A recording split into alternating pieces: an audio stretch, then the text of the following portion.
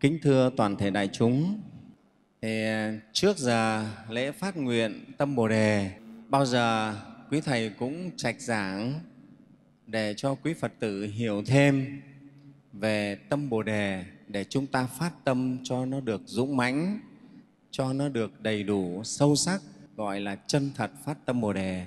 Tất nhiên, thưa đại chúng, để sinh ra được cái tâm Bồ Đề chân thật thì không phải là dễ dàng. Mà trên lộ trình tu học Phật Pháp, thiếu tâm Bồ Đề thì không thể thành Phật. Trong Kinh Hoa Nghiêm, Đức Phật dạy, dẫu tu hành tất cả các thiện Pháp mà quên mất tâm Bồ Đề thì vẫn là hành động theo ma vương. Đấy. Thực hành tất cả thiện Pháp mà quên đi mất cái tâm Bồ Đề thì vẫn là hành động theo ma vương đấy, thưa đại chúng. Như vậy chúng ta thấy cái việc quan trọng của tâm Bồ Đề như thế nào đối với người tu Phật. Cho nên trong các kinh điển của Phật thì nói về tâm Bồ Đề này rất nhiều. Đặc biệt như bộ Kinh Hoa Nghiêm là bộ kinh tối thượng thừa của Phật giáo thì dành hẳn một chương nói về tâm Bồ Đề, à, nói về giá trị của tâm Bồ Đề. Rất quan trọng. Đấy. Trong Kinh Hoa Nghiêm Phật dạy đấy, muốn thấy thập phương tất cả Phật, muốn ban vô tận công đức tạng, muốn diệt chúng sinh tất cả khổ, phải nên mau phát Bồ Đề tâm. Đấy. Cho nên người con Phật muốn đền ơn Phật chúng ta phải phát được cái tâm Bồ Đề này. Đó. Thì trong Kinh Đức Phật khuyên dạy chúng ta và sau này chư Tổ cũng thế, rất rất nhiều vị nói về cái tâm Bồ Đề này. Đó. Thì có hai cái áng văn mà người Việt chúng ta biết rất nổi tiếng nói về tâm Bồ Đề là một cái bộ văn á, của Ngài Thật Hiền Đại Sư đời nhà Thanh Ngài viết một cái bài là khuyến phát Bồ Đề Tâm Văn. Bài đấy thì trước đây Thầy đã trạch giảng cho các quý Phật tử rồi. Trong đó Ngài nói về tám cái sắc tướng của tâm khi phát tâm tu hành. Nó có cái tâm đại, tâm tiểu, tâm thiên, tâm viên, tâm chân, tâm ngụy, tâm chính, tâm tà. Tám cái sắc thái thì chúng ta phải bỏ những cái tâm gì tiểu ngụy thiên tà Đấy. mà chọn lấy cái tâm đại tránh à, chân và, và và viên. Đấy, chọn lấy những cái tâm đấy. Thế hôm nay á, thầy muốn giới thiệu với đại chúng một cái áng văn nữa cũng rất là đặc biệt sâu sắc mà của người việt. Cũng là bài khuyến phát tâm Bồ Đề nhưng của một cái người Phật tử đặc biệt. Đó chính là Đức vua Trần Thái Tông, Hoàng đế Trần Thái Tông là vị vua đầu đời của nhà Trần. Đã. Ông tuy là vua nhưng ông là một Phật tử, là một thiền sư rất thuần thành, thực hành Pháp Phật rất là kỹ càng sâu sắc. Đã. Ông đã để lại những cái tác phẩm bất hủ cho Phật giáo như bộ Khóa Hư Lục, à, chú giải Kinh Kim Cương, đấy, rồi các cái bộ Thiền Tông Chỉ Nam, đấy, những cái tác phẩm rất đặc biệt. Và đến cuối đời Ngài viên tịch cũng thế, đúng là như một vị thiền sư, hết sức là nhẹ nhàng, hết sức là an lạc và vì vua đầu đời nhà Trần này với cái tâm sùng mộ Phật Pháp như thế đã truyền bá cái tư tưởng Phật Pháp của mình cho tất cả con cháu. Cho nên thời nhà Trần hưng thịnh vì gần như tất cả các vua đều là Phật tử, đều là những người hộ trì Phật Pháp rất dũng mạnh, rất đặc biệt. Đó. Thì chúng ta thấy vua Trần Thái Tông là một cái vị cũng rất đặc biệt. Ngài tính là trốn bỏ ngôi vua lên trên núi Yên Tử tu đó. Nhưng sau này Trần Thủ Độ bắt phải về. Nếu ngày ấy mà vua trần thái tông không về, là trần thủ độ cho xây ngay cung điện ở ngay yên tử này. Là khéo bây giờ chúng ta có cung điện ở yên tử. Đấy, đại chúng. Chứ không chuyện thường thế sau đó thì trần thái tông đã nghe lời và nghe lời quốc sư phù vân nữa khuyên là phật ấy, ở trong tâm chứ không phải trong núi mới có phật. Phật ở trong tâm của của chúng ta. Tâm lặng mà chiếu sáng thì tâm ấy là phật sống đó. Cái câu đấy là rất sâu sắc. À, ngài hãy về chăm lo cho nhân dân và để tâm đến nghiên cứu nội điển tức là kinh phật. Nghe đấy quốc sư phù vân khuyên vua trần thái tông như vậy. Đấy. thì đấy mới thật sự là người con phật đấy. Và trần thái tông đã nghe lời quốc sư. Và bên cạnh đó là có thái sư trần thủ độ. Cho nên trần thái tông đã trở về triều, tiếp tục lãnh đạo nhân dân, đánh giặc nguyên mông, rồi xây dựng đất nước à, làm cho đất nước được thái hòa. Đấy là cái điều hết sức quý vị vua đầu đời của nhà trần. Thì kính thưa đại chúng, hôm nay thầy muốn giới thiệu cái bài văn, một áng văn cũng rất bất hủ của ngài. Ờ, trong bộ khóa hư lục, cái bài văn đấy là văn khuyến phát tâm bồ đề. Vua trần thái tông cũng thấy cái việc tu hành mà không phát được tâm bồ đề thì khó có thể thành tựu được sự giác ngộ. Ờ, hôm nay chúng ta cùng trao đổi. Thời lượng của buổi thuyết pháp này nó có có hạn. Thế thì có thể thầy không có thể nói được hết cái bài văn này thì chúng ta sẽ tiếp tục học trong những buổi sau. Chúng ta vào phần văn văn. Ngài nói thế này, ôi, vật quý nhất đời chỉ là vàng ngọc vậy. Song xét tới chỗ quan trọng, chỗ luyến tiếc lại không thể sánh bằng thân mạng. Đấy, đại chúng chúng ta rất là rõ. Ở trên đời này ai cũng quý vàng, quý ngọc. Cho vàng ngọc là quý nhất. Đúng không? Nếu của cải thì kim cương vàng bạc, đấy là những cái rất quý. Mà nhiều người sẵn sàng đánh đổi, có khi họ đổi hết tất cả đấy, tình nghĩa, anh em và bạn bè, cho đến vợ, chồng, cha con cũng sẵn sàng đánh mất để có vàng, có ngọc. Sẵn sàng đánh mất. Đấy rồi nhiều khi giết nhau vì vàng vì ngọc vì tài sản. Cho nên ở đây ngài mới nói là vật quý nhất trên đời chỉ là vàng ngọc đấy là vật. Cái vật mà quý nhất là vàng là ngọc là kim cương. À, đấy, kim cương. Rồi bây giờ thì nghe còn nói có vàng trắng là cái bạch kim đấy là quý nhất ví dụ thế. Đấy. nhưng mà ngài lại thấy rằng song xét tới chỗ quan trọng cái chỗ luyến tiếc ấy, thì lại không thể sánh bằng thân mạng. Chúng ta thấy ngài lập luận rất trí lý. Nha. Song xét cho cái chỗ tột cùng mà suy xét, thì vàng bạc của cải ngọc ngà lại không quý bằng thân mạng của mình, không tiếc bằng thân mạng. Ngài mới nói thế này, ví dụ như có nhà giàu sang được người mời làm đại tướng, dùng vàng làm áo giáp để bảo hộ thân. Đến khi lâm trận, khi gươm đao tiếp nhau, có lúc phải bỏ cả áo giáp bằng vàng, kéo gươm mà chạy. Chỉ mong được bảo toàn tính mạng, áo giáp bằng vàng kia đâu còn đói hoài đến. Thế liền biết, cái quý trọng của vàng bạc cũng không đủ so sánh với thân mạng, chính là nghĩa đó. Điều này có đúng không các phật tử? Đấy ở đây chúng ta cũng biết.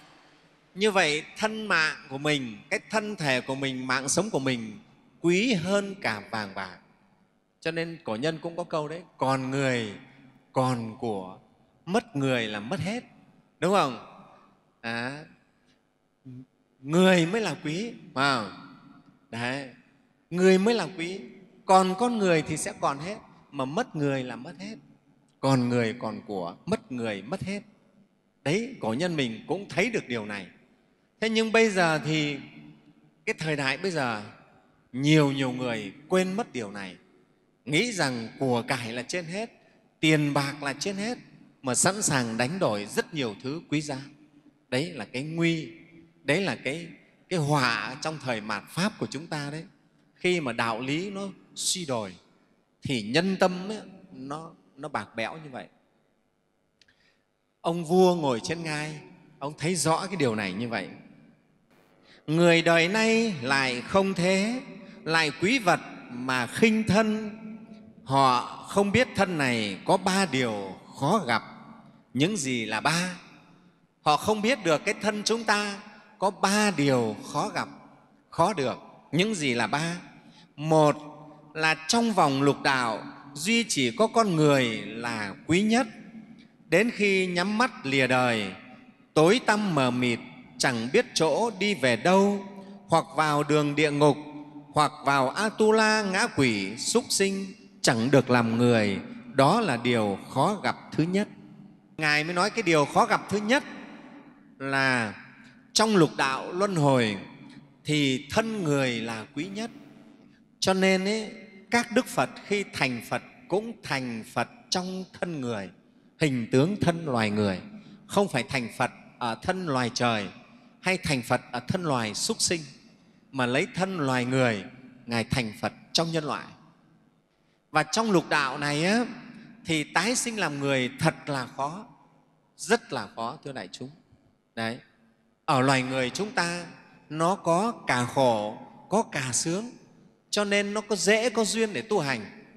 Ở loài trời thì quá sung sướng suốt ngày ăn chơi, nhảy múa hát ca, không có thời gian nào nghĩ đến tu hành, không nhớ đến vô thường. Ở loài súc sinh, ngạ quỷ địa ngục thì lại quá khổ và ngu mê, không có duyên để gặp được phật pháp mà tu hành. Đau khổ quá, đói khát quá, tra tấn suốt ngày, không còn gì nghĩ đến đạo lý để tu nữa. Cho nên duy nhất có cõi người là chỗ thuận duyên tu hành nhất đấy, thưa đại chúng cho nên được thân người quý lắm. Chúng ta không được xem thường nó. Không được xem thường nó. Thân này thật khó được mà dễ mất lắm. Đại chúng phải nhớ. Cho nên phải bảo trọng cái thân này. Nhà bảo trọng. Tuy rằng nó ngắn ngủi à, nhưng mà phải bảo trọng nó. Hai là đã được làm người hoặc lại sinh vào chốn man di mọi giờ tắm cùng khúc sông ngủ cùng giường nệm tôn ti lẫn lộn trai gái sống chung chẳng đượm gió nhân không nhuần thánh hóa. Đó là điều khó gặp thứ hai. Ở đây ngài nói cái điều khó gặp thứ nhất là được làm thân người là khó lắm rồi. Nhưng khó thứ hai là được thân người rồi mà lại không được sinh vào những chỗ văn minh lại sinh vào đâu? Những chỗ man di mọi giờ. À, cái chỗ văn hóa không đến. Làm sao đấy? Tắm cùng khúc sông ngủ cùng giường nệm. Ý muốn nói là sao? Đấy bây giờ lên cái vùng xa xôi ấy, cái vùng mà vùng sâu vùng xa đấy trai gái vẫn ra sông ra suối tắm nô giỡn với nhau. Họ không có cái ý thức tức là về về giới về phân biệt. Đó họ không có những cái hồ thẹn. Nhiều khi ra cái giếng làng là trai gái tồng ngầm tắm hết tất cả chả có gì cả. Họ chả biết hồ thẹn là gì cho nên ở đây ngài ngài nói đấy trai gái tắm cùng khúc sông ngủ thì cùng giường nệm nằm tràn ra sàn đấy, chả cần biết lẫn lộn. Tôn ti thì lẫn lộn trai gái sống chung à, chẳng đượm gió nhân không nhuần thánh hóa không được thấm đượm những cái điều nhân từ đạo lý không nghe được những cái lời dạy dỗ của các bậc thánh nhân cho nên không nhuần thánh hóa. Xa xôi biên địa xa xôi ở những cái chỗ hẻo lánh. Thật là khổ đấy thưa đại chúng. Ở đây ai đã có duyên lên những cái vùng sâu vùng xa vùng tây bắc á, đi vào những vùng dân tộc sâu xa họ rất là khổ tối tăm vô cùng. Có khi cách thành phố thủ phủ của tỉnh chỉ độ hai chục cây số thôi mà không thể tưởng tượng được cái đời sống của họ. Hôm có một chú nhà báo chú về đây chú cho thầy xem cái ảnh. À, cách một cái, cái, cái thành phố của tỉnh thôi có hơn hai chục cây thôi mà họ sống như là những cái người cách đây hàng gần nghìn năm ấy. đấy thưa đại chúng dân họ sống thế. Đấy không có ánh sáng văn hóa đến. Rất là khổ. Điều thứ ba khó gặp là tuy được sinh nơi văn hóa nhưng sáu căn lại không đầy đủ. Bốn thể không toàn mù điếc ngọng câm gù khom khập khiễng miệng mũi hôi thối, thân hình nhớp nhơ, thầy chẳng cùng gần, chúng không thích tới. Tuy ở chỗ văn minh cao độ, nhưng khác gì ngoài trốn hoang vu, đó là điều khó gặp thứ ba. Nếu chúng ta không bị sinh vào cái vùng sâu vùng xa, biên địa hạ tiền chúng ta được sinh vào cái chỗ văn hóa văn minh, nhưng chúng ta có thể chưa chắc đã được vẹn toàn. Đó là sao? Chúng ta sinh ra mà làm sao? Thân căn không đầy đủ, sáu căn chẳng đủ, bốn thể không vẹn toàn. Nghe không? Sáu căn, mắt, tai, mũi, lưỡi không đủ. Hoặc mù mắt, hoặc điếc tai, ngắn lưỡi, tay chân què cụt, tàn phế. Trong chúng ta có những người ở trung tâm văn hóa như thế đấy. Những người như thế thì có khác gì cái người ở ngoài biên địa đâu? Tai điếc nghe không được, có phật pháp đến đấy cũng không nghe được, mắt mù không đọc được. Rất may mắn phật tử chúng ta, ở đây ít người bị như thế, nhưng mà vẫn có những người như thế. Cái thì cái quả báo gì mà bị như thế? Nó phải có nhân quả. Rồi, cái người như thế làm sao? Đến thầy cũng chẳng cùng gần, chúng không muốn tới. Cái người đã tàn phế như thế, không ai muốn gần gũi đến là đuôi mù cùi hủi như thế người ta ngại không muốn đến. Cho nên ý, dẫu là ở chỗ văn minh như nhưng mà không khác gì chỗ biên địa hoang vu. Đấy cho nên nếu chúng ta bây giờ tự xét thân mình được những cái yếu tố đầy đủ như thế này là mình phải tự mừng tự vui và phải biết quý trọng bảo trọng cái thân thể này. À, cái thân mạng của mình phải bảo trọng phải bảo trọng. Nay đã được thân làm người, được sinh nơi trung tâm văn hóa, lại có sáu căn đầy đủ, thật đáng quý thay. Đấy, vua nói thế, thật đáng quý thay. Phàm người ở đời chỉ biết bon chen trên đường danh lợi, thương tổn tinh thần, mệt nhọc thể xác, bỏ phần cao quý nơi thân mạng mình, theo cái đáng khinh nơi của cải nọ, chẳng khác gì như kẻ ăn bánh quên vợ ngậm cơm quên mép. Đấy. ngài dạy, bây giờ người đời, thầy nghĩ chắc cái thời của ngài không đến nỗi như bây giờ chúng ta, cái văn này ngài nói nó rất hợp với cái thời đại chúng ta bây giờ. Nghe không? thời đại phát triển văn minh vật chất như bây giờ. Nhưng còn thời trần thì thầy nghĩ con người vẫn có tình người nhiều lắm. Người ta vẫn biết trọng nghĩa khinh tài. Còn bây giờ thì mới là cái thời kỳ mà trọng tài khinh nghĩa nghe không? Thời nay này. Đấy đồng tiền là trên hết. À, còn dám nói tiền là gì? Là tiên là phật cơ mà. Phải là sức bật lò xo cái gì cái gì đấy. Phải rất nhiều thứ. Đây có những cái bài ca. Thì ở đây à, ngài nói là cái người ở đời bây giờ chỉ biết bon chen đường danh lợi thương tổn tinh thần chạy trên con đường danh lợi làm cho tinh thần mình hao nhọc. À, ra đường chúng ta gặp đứng, một, đứng ở đường mà hỏi thử hỏi xem đúng gần như người trên đường toàn là phải đi chạy danh lợi đấy. Anh đi đâu đấy? Tôi đi kiếm tiền.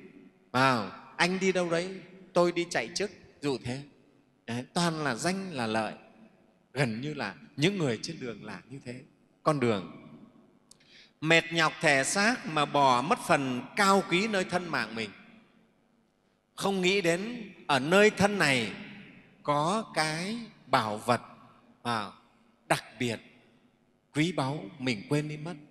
Đấy hao tâm tổn thần đi tìm của cải tất nhiên ấy, nói như thế chúng ta không thể là không đi tìm à, không thể không nuôi sống. Nhưng mà nó như thế nào? À, cái, cái chú trọng đến nó ra sao?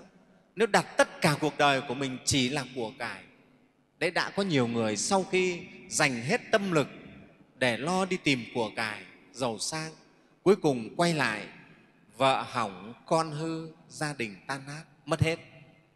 Đến lúc ôm một đống của mà đau khổ, nghe không? đấy, cái đến rất rõ. Rồi thân thể thì bại hoại. Cho nên là chúng ta không biết dùng thời gian quý báu làm đầu tư vào công việc như thế nào ở đây ý ngài muốn nói chúng ta. Ngài không phải bảo chúng ta như thế là bỏ không đi làm không kiếm cơm không phải. Nhưng mà chúng ta phải biết cái gì là quý báu.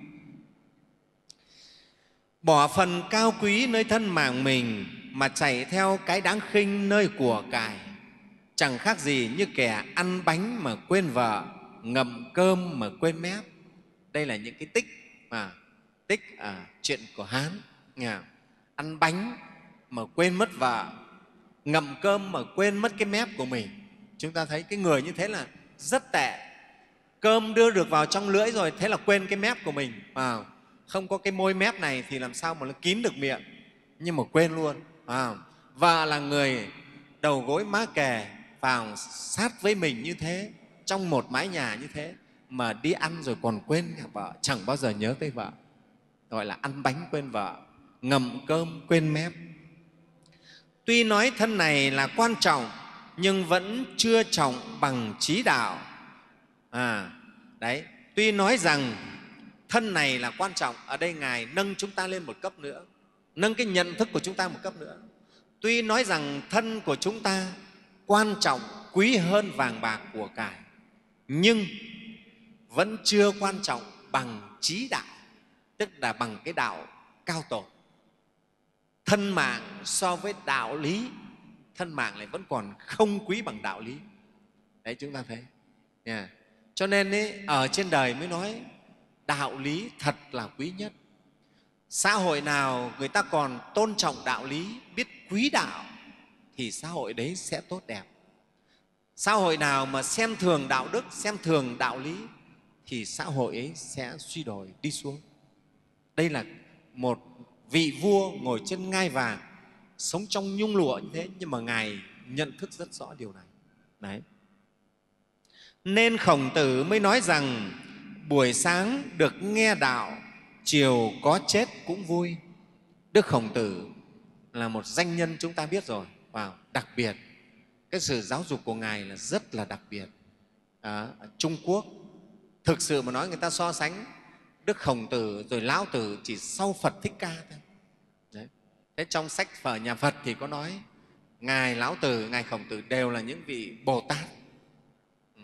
Hóa hiện để dẫn dắt chúng sinh. Cho nên sau này á, vua trần nhân tông của chúng ta đấy thì đã kết hợp được cả ba cái cái đạo lý đạo lý của nhà khổng đạo lý của nhà lão lão tử đấy kết hợp lại gọi là tam giáo đồng nguyên cùng trong phật giáo khổng, lão và phật. Ba cái này kết hợp lại là tam giáo, đồng nguyên, cùng một nguồn. Đấy. thế đức khổng tử còn nói, buổi sáng sớm được nghe đạo, chiều có chết cũng vui. Chúng ta bây giờ có được cái tinh thần này chưa? Nghe ở trên chùa thuyết pháp, có dám sẵn sàng là sáng được đi nghe pháp, chiều về chồng có đánh gãy tay cũng nghe không? không đi nghe, chưa dám, đúng không? Sáng nay đi nghe pháp mà chiều về là không có cơm ăn, hết gạo. Có dám đi nghe không? Đây ngài còn nói sáng nghe pháp thì chiều chết cũng vui lòng cơ mà. Sáng được nghe một câu đạo lý, được nghe đạo pháp, chiều chết cũng cam lòng.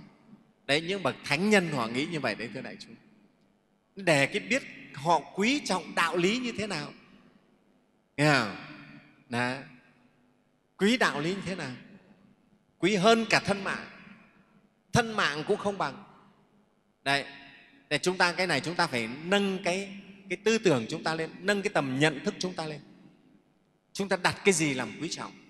À, nếu người người tất cả các phật tử chúng ta đây ai ai cũng thế trọng đạo lý đặt đạo lý lên trên hết thì cái phúc lành nó tỏa ra biết bao nhiêu? Đất nước mình được tốt đẹp biết bao nhiêu.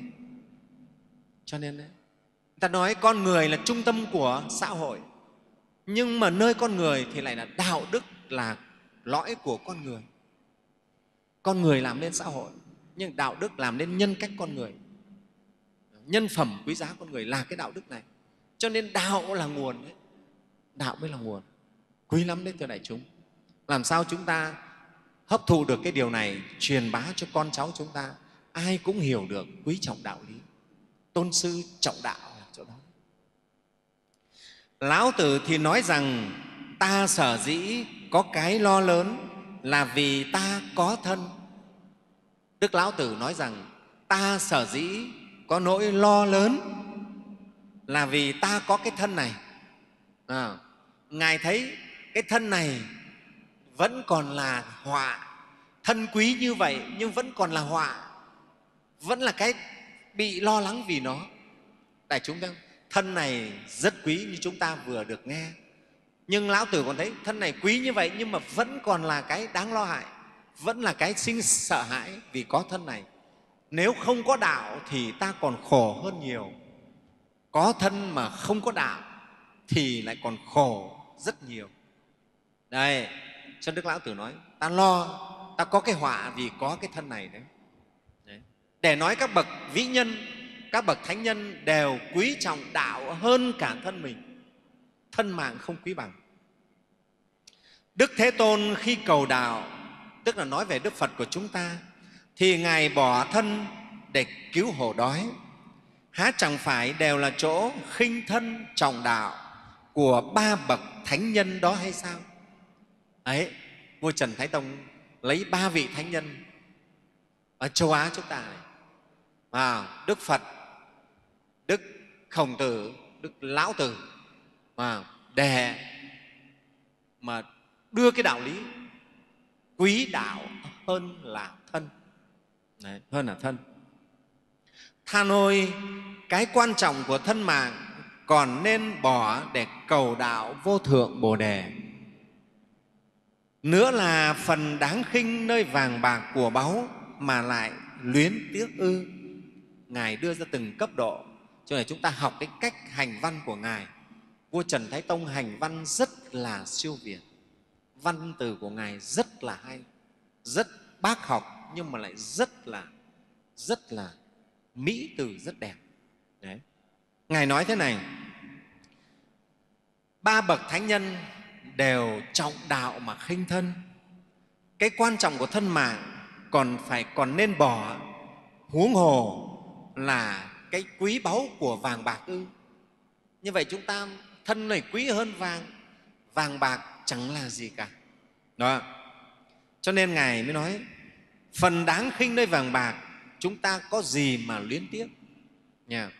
Cho nên làm sao tất cả phật tử chúng ta phải xây dựng được một cái tinh thần trọng đạo lý xem nhẹ tiền của và xem nhẹ đi. Trong quan hệ cũng thế, lấy nghĩa tình, lấy đạo lý lên trên. Đừng đặt tiền bạc ra để quan hệ. Khi quan hệ đặt tiền bạc thì quan hệ đấy không bao giờ là bền chặt.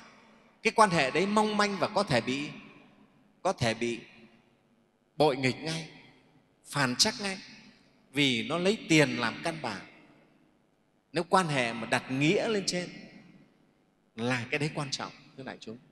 Đối với chùa ba vàng tất cả tăng ni phật tử chùa ba vàng thầy đang quyết tâm đặt cái vấn đề này lên.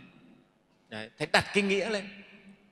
Đấy, cho nên thưa đại chúng ví dụ chùa mình không phải thầy nói khoe hay thầy không tổ chức thu lệ phí tham quan không thu tiền trông giữ xe không thu tiền vệ sinh à, tất cả mọi cái không thu và ngay kể cả tổ chức khóa sinh hoạt hè cho các cháu tu mùa hè đây thầy cũng không thu một đồng lệ phí nào của các cháu cả.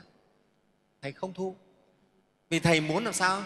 Mọi người đến chùa đem cả cái tình trong sáng của mình đối phật.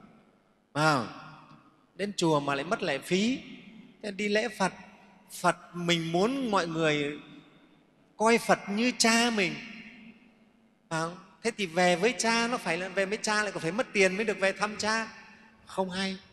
Cho nên phải bỏ những cái chuyện đấy. Nó không phải mất lệ phí mới được về lễ cha thăm cha. Phật là cha lành của chúng ta một quan niệm của thầy là phải làm sao cho tất cả nhân dân và phật tử thấy phật thấy chùa như nhà của mình. Đi về nhà lại phải nộp tiền mới được về nhà. Làm gì có cái chuyện đấy. Nghe không? Thầy không như thế.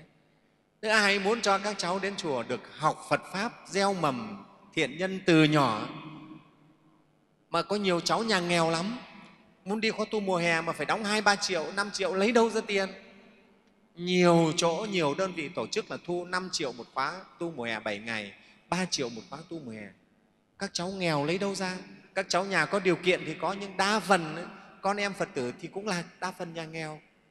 Mà tại thầy nói là thường phật tử mình cũng nghèo là vì thường nghèo khổ rồi mới lại nghĩ đến phật đấy nghèo khó khăn gian khổ mới cầu đến phật.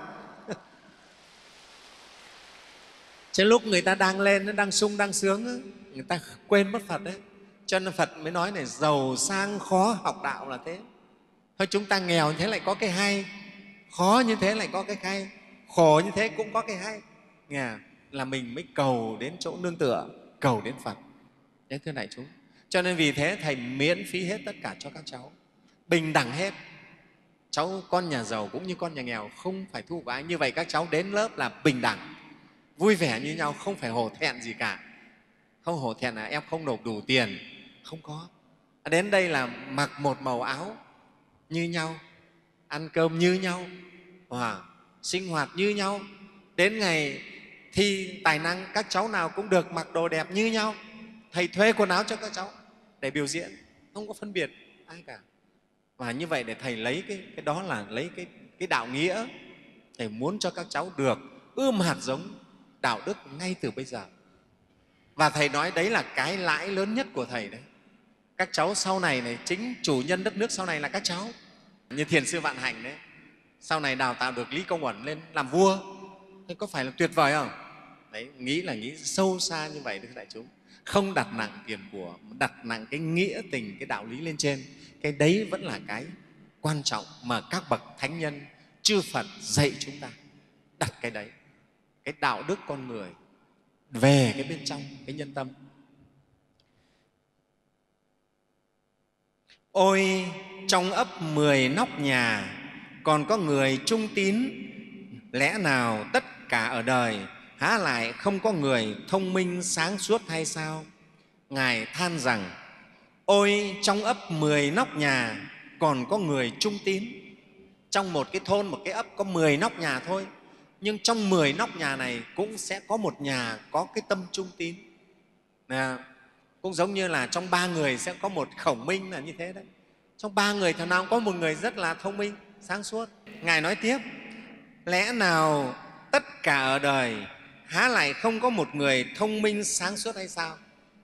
Ngài than chẳng nhẽ cả đời bao nhiêu triệu dân như thế này lại không có người nào thông minh sáng suốt để nhận định được cái lẽ cái đạo lý ở đời. Quý đạo hơn là quý thân quý thân hơn vàng bạc. Đấy. hãy nghe theo lời ấy nên chăm lo tu học, chớ có nghi ngờ. Trong kinh nói, một khi mất thân người, muôn kiếp khó trở lại, thật đau đớn giết bao. Thế nên khổng tử nói, người mà không chịu làm, ta chẳng biết làm sao được. Các bậc thánh nhân trí tuệ sáng suốt, họ thấu rõ đạo lý. Đạo lý tức là cái chân lý vậy đấy. Đạo tức là chân lý vậy. Mà chân lý là sự thật hiển nhiên. Tất cả không có thể nào khác được. Chúng ta sống trái chân lý thì chúng ta sẽ đau khổ, thưa đại chúng. Đấy. Chúng ta thuận theo chân lý thì chúng ta được an lạc. Phải không? Đấy bây giờ nước nó phải chảy xuống xuôi mà ta cứ ra ta hét bắt nó phải chảy ngược. Nó không thể chảy ngược được ta hét đứt cổ họng nên ta chết thôi. Vì nước nó không bao giờ biết chảy ngược. Phải có lực của ông bơm thì nó mới chảy ngược. Có phải không? Mình nên cứ bảo nước phải chạy từ hạ nguồn lên thượng nguồn thì không có. Đấy, đấy là lý đạo đấy. Thế thì đạo lý là cái những điều chân thật là thực tại khách quan. Chúng ta chỉ biết phải học để biết nó rồi vận dụng nó thì chúng ta được an lạc. Đem đạo vào đời sống mình được an lạc. Còn sống trái đạo, tức là không đúng chân lý, thì chúng ta sẽ chịu đau khổ. Đấy, con người mình có cái tự do thế. Anh có quyền, nhưng mà anh không biết chân lý khi học tập chân lý, thì anh sẽ bị đau khổ. Đây thế thôi. Cho nên tất cả chúng ta, cái sự nhận thức của chúng ta là đều để học hỏi, để tìm hiểu về thực tại về chân lý. Biết nó, vận dụng được nó, thì chúng ta được tốt đẹp ôi, xét cho rõ.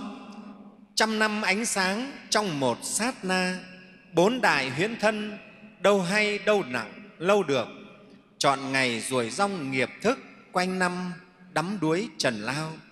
Ngài nói, chúng ta hãy xét cho rõ. Trăm năm ánh sáng trong một sát na. Nhà, một trăm năm ánh sáng. Nhưng mà chỉ một sát na tắt đi một cái là biến thành bóng tối ngay. Đây thưa đại chúng tất cả những cái đèn này tắt một cái thì trong khi đèn vừa tắt là tối liền ập đến ngay. À, mặt trời vừa lặn là tối liền đến khắp đầy cả trái đất luôn. Rất nhanh. Đấy, cho nên dù là một trăm năm, một nghìn năm ánh sáng vào nhưng một sát na nếu mất thì là bóng tối đến. Hoặc là trăm năm bóng tối mà chỉ cần một sát na mình bật đèn mặt trời lên là liền sáng. Đấy cái này nó rất là nhanh bốn đại huyễn thân đâu hay lâu được. Bốn đại kết thành cái thân của chúng ta, đâu có thể lâu bền được, đại chúng. Thân người khó được mà dễ mất, mong manh vô cùng. Và chúng ta phải thường ngày suy ngẫm, quán chiếu điều này. Cả cái thân to sáu bảy mươi kg thế này mà phụ thuộc vào mấy cái mạch máu li ti, mấy cái sợi dây thần kinh bé hơn sợi chỉ, nó đứt một cái là chết rồi. Đấy chúng ta thấy nó rất là mong manh đại chúng thấy một, một tia máu mạch máu não đứt một cái là ta đã bại liệt rồi. Mà nó đứt thì cũng không phải là khó đâu. Một cái chấn động một cái một tí nó tắc mỡ máu đây là đứt rồi. Đại chúng thấy rất nguy hiểm. À, đấy cho nên quả thật mạng người rất quý nhưng lại mong manh. Thì chúng ta phải làm sao đây? Mà chọn ngày rong ruổi nghiệp thức quanh năm đắm đuối trần lao. À, cứ như thế chúng ta chọn ngày rong ruổi rong chơi quanh năm đắm đuối với trần cảnh chạy theo ngũ dục để chìm đắm luân hồi. Không biết tỉnh ra. Không biết một tính viên minh chỉ theo sáu căn tham dục. Chúng ta không biết ngay nơi cái thân tứ đại huyễn hóa này có một cái tính viên minh tức là sáng suốt tròn đầy. À, cực kỳ sáng suốt hơn cả mặt trăng mặt trời. Sức sáng của nó là tuyệt vời mà lại viên mãn ở ngay nơi thân chúng ta đây thưa đại chúng thân mạng chúng ta. Có cái tính viên minh ấy mà phật gọi là viên ngọc châu vô giá bảo châu đấy, đấy. minh châu. Mà không biết nó mà lại chạy theo sáu căn tham dục.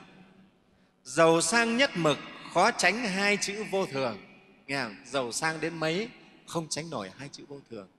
Giàu như tỷ phú Bill Gates của rồi cũng phải vô thường không ai tránh được. Tranh nhân tranh ngã rốt cuộc thành không khoe giỏi khoe tài đều là chẳng thật. Tranh nhân tranh ngã khoe tài khoe giỏi kết cục cũng là trong gió lửa tiêu tan bao già trẻ núi khe rũa nát mấy anh hùng. Chúng ta thấy cái áng văn rất là hay. Yeah. gió lửa tiêu tan bao già trẻ gió và lửa vô thường tiêu tan bao nhiêu già trẻ. Đấy đấy tóc chúng ta lửa đốt cháy cho nên nó, nó thành cho bạc đấy. Từ đen đốt thành bạc mặt chúng ta lửa vô thường đốt từ từ gì? Từ mởn tơ trở thành nhăn nheo. Đấy, căng bóng thành nhăn nheo. Đấy là lửa vô nó đốt đấy. Núi khe rũa nát mấy anh hùng. Vào anh hùng sông pha nơi trận chiến vào núi vào rừng. Bây giờ cũng rũa nát hết xương phơi trắng và cũng chỉ là cát bụi thôi. Mái xanh chưa mấy tóc bạc vội lấn dần. Kẻ mừng vừa đi người viếng len chân tới. Chúng ta thấy tóc xanh ấy, chưa được mấy mấy ngày thì đã tóc bạc lấn lấn trên đầu rồi. À, lấn trên đầu rồi kẻ mừng vừa đi kẻ mừng vừa đến chúc mừng anh. Anh khánh thành nhà mới à, anh chúc mừng anh ờ, thế nọ thế kia. Thì một lúc sau đã thấy kẻ viếng len chân tới. Kẻ mừng vừa đi thì kẻ viếng len chân tới. Hôm trước vừa anh khánh thành nhà sau hôm sau đã thấy đến viếng đám tang rồi. Chuyện này nhiều lắm thưa đại chúng cho nên ngài nói rất là thật. Kẻ đến mừng vừa đi khỏi thì hôm sau đã thấy người đến viếng len chân tới rồi. Đây chúng ta thấy cái lẽ vô thường nó nhanh như thế nào? Một bao máu mủ, chuỗi năm luyến tiếc ân tình. Một bao máu mủ là cái thân xác này. Bao nhiêu năm ta luyến tiếc, ta ân tình với nó. Ta yêu quý, chăm bẵm nó. Nghe không? Nặng nề vì nó. Quý thì quý. Quý ở đây không phải quý là luyến ái, mà ở đây ngài muốn nói là đặt cái thân này đúng vị trí của nó. Đúng vị trí của nó trông cũng giống như chúng ta. Dành tiền mua được cái xe máy. Quý ông thưa đại chúng, bao năm vất vả mua được cái xe máy, rất là quý cái xe. Nhưng mà quý không phải mua nó về rồi móc treo lên trên trên gác ấy để mà để mà nhìn mà ngắm. Quý phải đem nó ra dùng dùng như thế nào để bảo tồn nó cho tốt. Đấy là biết biết cái quý đó. Chứ không quý là đem đấy treo lên. Cất đi, hay treo lên gác bếp để mình ngắm, không phải. Nghe không? Thân này là quý, rất quý, nhưng phải biết là quý thì phải dùng nó như thế nào cho lợi ích nhất. Đấy là biết quý thân, chứ không phải quý là ái luyến nó rồi để đấy chịu cưng chiều nó, để rồi vì nó mà đọa lạc. Bảy thức xương khô rông rỡ tham lam của báu, thở ra không thở lại, ngày nay khó gặp đợi ngày mai. Sông yêu chìm nổi chẳng lúc ngơi, nhà cháy nấu nung ngày nào hết. Thưa đại chúng, đọc những cái vần thơ vần văn này mình thấy đúng là ngài này, thật là văn trác tuyệt à, bảy thước xương khô là cái tấm thân mình đấy rông rỡ tham lam của báu. Thở ra khôn bề thở lại ngày nay khó đợi ngày mai. Thở ra chưa biết có thở hít lại được hay không tức là chết rồi. Ngày nay không biết có hẹn được ngày mai nữa không? Thế trong chùa mình các thầy cũng vẫn hay nói đấy tối nay lên giường ngày mai không biết tôi còn được xỏ dép nữa hay không? Lên giường rồi có nhiều người lên giường ngày mai không xuống xỏ dép nữa. Thôi, thôi rồi. Sông yêu chìm nổi chẳng lúc ngơi mà nhà cháy nấu nung ngày nào hết. Đấy chúng ta đang trôi nổi trên cái sông tình ái. Trong cái nhà lửa cháy này cái thế giới này như ngôi nhà lửa đang cháy ngày nào mình mới mới ra được khỏi đây. Chẳng nguyện xa lìa lưới nghiệp, chỉ vì chưa có công phu. Diêm la vương bỗng chốc lại đòi, thôi tướng công, nào cho thêm bạn, thêm hạn. Khi mà khi mà thần chết đến, vua diêm la đến đòi, không ai cho gia hạn thêm cả, thưa đại chúng. Không ai gia hạn thêm được. Không ai hẹn là thôi, đợi tôi tôi giải quyết xong mấy việc này rồi thì cho tôi đi cũng được, không có chết đến là phải đi. Đấy. Ngoảnh lại người thân đều chẳng thấy cuối cùng nghiệp báo tự mình mang. À, ngoảnh lại người thân không thấy đâu cả. Cuối cùng nghiệp báo tự mình phải mang. Nhắm mắt ra đi rồi còn ai nữa đâu? Không một ai theo mình. Cùng lắm đưa mình đến nghĩa địa. À, có người con thương thương cha thương mẹ nhảy xuống hố người ta lại móc lên không ai ta chôn mình cùng cả. Tức là mình phải đi một mình, không ai đi cùng. Cho nên ngoảnh lại, không thấy người thân nào nữa. Đấy, cái chết là thế đấy thưa này chúng. Ngài nói nó rất là hay, rất xác thực. Cuối cùng thì nghiệp báo phải tự mình mang. Chúng ta ra đi tự mình mang nghiệp thôi. Khi sống thì mình vì vợ, vì con, tạo nghiệp ác này, tạo nghiệp ác kia. Mình bảo vì cái này, vì cái kia. Nhưng lúc chết, cái nghiệp mình mang mình phải mang đấy thưa đại chúng. Nó khổ thế đấy. Khổ lắm. Quỷ vương ngục tốt mặc sức khảo tra, rừng kiếm núi đao vô phương chống đỡ. Hoặc giam trong vòng vây sắt, hoặc nhốt ở dưới núi ốc tiêu, chịu vạc dầu sôi thường muôn chết ngàn sinh, phải chém chặt thời một dao, hai khúc. Đấy, bị chặt chém một đao, đứt làm hai khúc.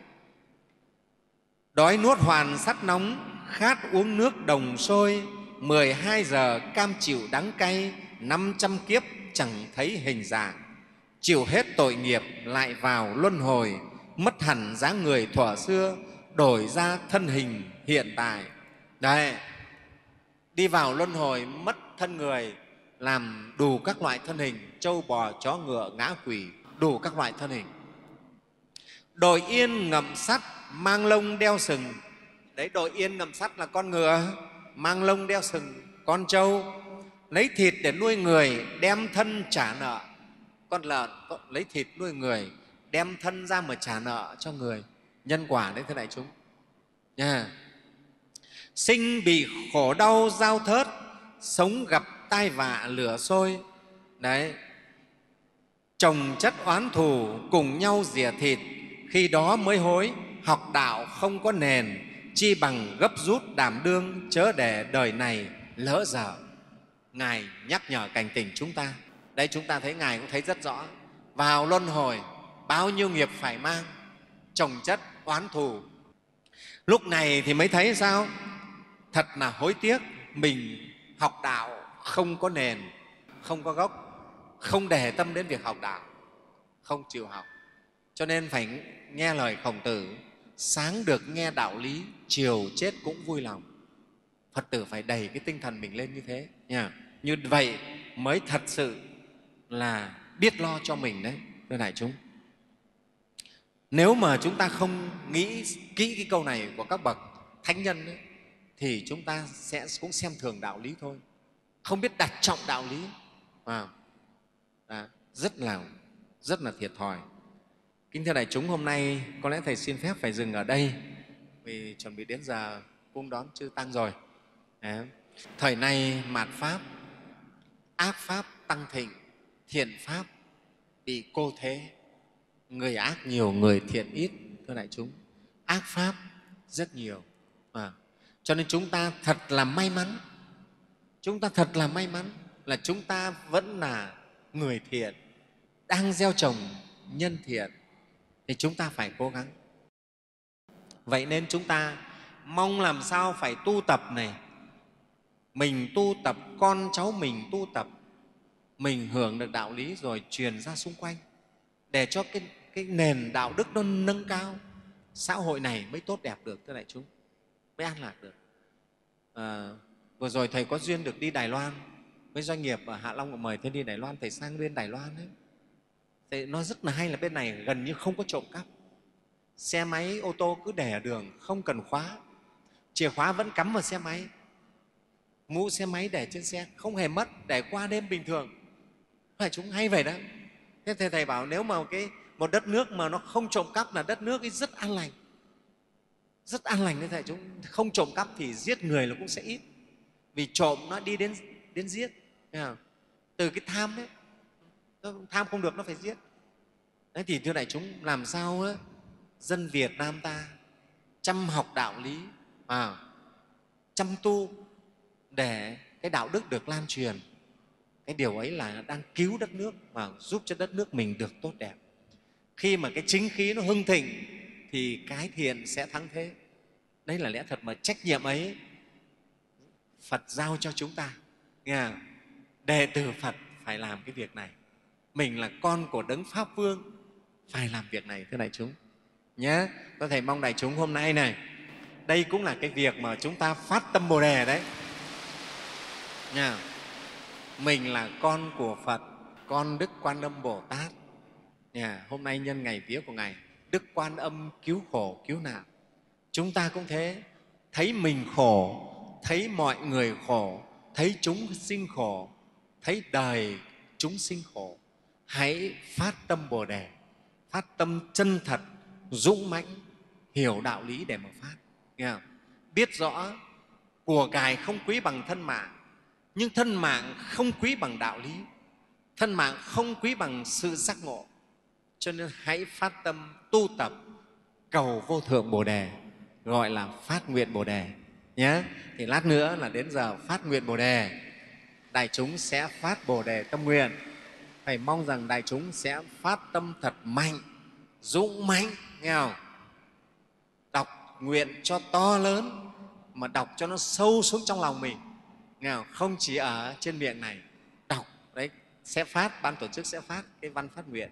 Chúng ta đọc, chúng ta phát nguyện phát nguyện sâu, giống như cả một đời, hôm nay là ngày mình được sống, mà sống chân thật nhất. Thầy nói là một ngày hôm nay phát nguyện dũng mãnh nó sẽ lợi ích cho muôn đời về sau, nhé. Dù dù gọi là sống một gì ngàn năm le nói không bằng một phút huy hoàng. Hôm nay là ngày huy hoàng, ngày chúng ta phát cái đại nguyện bồ đề. Đại chúng hãy phát dũng mãnh cho thầy nha dẫu rằng phát xong, thực hành chưa được cũng không sao, nhưng mà hãy phát dũng mãnh. Coi như ngày hôm nay, sau ngày hôm nay là chúng ta không còn sống nữa đi, để phát cho thật mạnh. Đại chúng nhất trí không?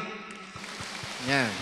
Rồi mô phật đấy, cái điều mà thầy thái minh cũng như chư tăng của chùa mong mỏi nhất phật tử chúng ta, chăm chỉ đi học pháp. Không học pháp, không thể phát được tâm bồ đề. Bảo ngồi ở nhà tự nhiên bảo đến phát tâm bồ đề, không biết gì mà phát. Học pháp, hiểu pháp, thâm nhập pháp mới phát được cái tâm bồ đề.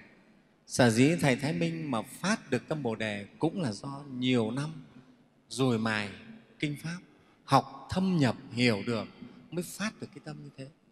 À đại chúng thế ngày xưa cách mạng của mình thế.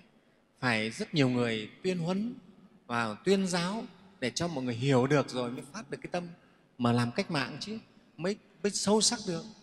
Cho nên cái việc học pháp là rất quan trọng không được bỏ việc học pháp. Đại chúng nhớ đấy chùa chúng ta đã giản trạch rất rõ không vì pháp môn tu nào mà bỏ việc học pháp nghe không? Nếu pháp nào bắt mình bỏ hết kinh sách phật không được học là không thể theo cái đó được. Thì uổng công phật bốn chín năm thuyết pháp làm gì? Nhá. Cho nên chùa ba vàng phải lấy việc học pháp lấy việc tu trì giới đức lên làm những cái việc căn bản. À, đấy là căn bản. Ai nói gì bảo bây giờ thôi đừng bỏ hết pháp môn và bỏ hết pháp kinh pháp đi để tu một cái này thôi ta không ta phải cẩn thận. Phải học pháp để hiểu pháp. Đấy là chúng ta không phụ công của phật đấy nhé phải mong đại chúng tinh tấn. A di đà phật.